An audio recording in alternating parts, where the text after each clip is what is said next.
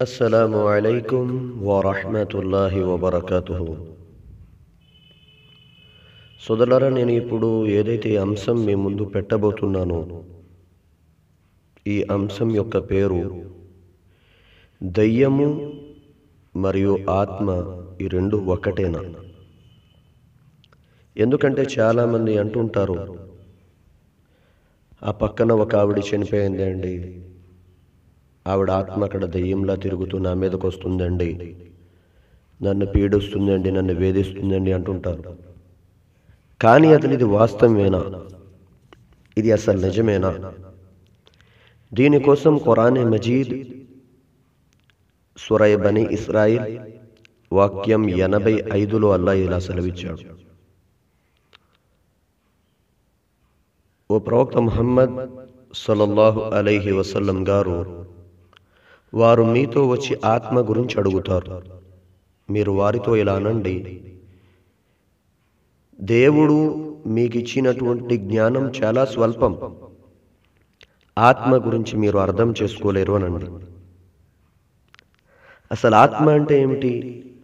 ఆత్మ మీలో నాలో మనందరిలో ఉండేటువంటిది. కానీ అది ఎలా ఉంటుంది? ఎలా వస్తుంది? ఎలా వెళ్ళిపోతుంది అన్న విషయం ఆ దైవానికి తప్ప ఇంకెవ్వరికీ తెలియదు. అదే మాట ఖురానే మజీద్.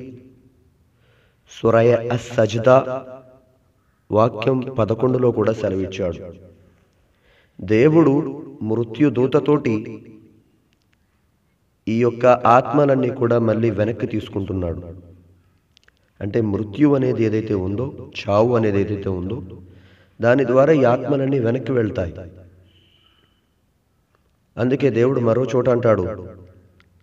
అఫహసిబుతుం అన్నమా ఖలqనాకుం అబసం వ అన్నకుం ఇలైనా లా తుర్జఊన్ మీరు ఈ ఆలోచనలో ఉన్నారా? మేము మిమ్మల్ని వ్యర్థంగా పుట్టించామని? కాదు కాదు. మీరందరూ మరణిస్తారు మళ్ళీ తిరిగి మా వైపు రప్పించబడతారు అంటాడు. ఈ ఆత్మలన్నిటినీ కూడా దైవం సృష్టించాడు. దైవమే మానవుని యొక్క శరీరంలో పంపించాడు. మరియు తరువాత ఆ యొక్క ఆత్మలను ఆయనే ఆధీనంలో తీసుకుంటున్నాడు. ఇదే మాట ఖురానే మజీద్ సురయ అస్ సజ్దా వాక్యం తొమ్మిదిలో కూడా సెలవిచ్చాడు. మేము ముందు మానవుడి యొక్క శరీరాన్ని సృష్టించాం తర్వాత ఆత్మని వేశామని చెప్పి. అంటే ఈ ఆత్మ అనేది దేవుడి దగ్గర నుంచి వస్తుంది.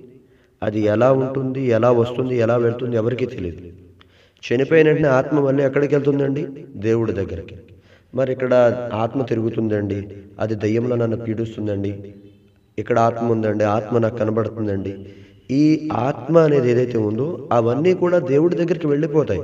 చనిపోయిన తర్వాత ఈ సృష్టిలో ఎన్ని ఆత్మలైతే ఎంతమంది శరీరాల్లో అయితే ఆత్మలు ఉన్నాయో ఇవన్నీ చనిపోయిన తర్వాత సృష్టికర్త దగ్గరికి వెళ్ళిపోతాయి.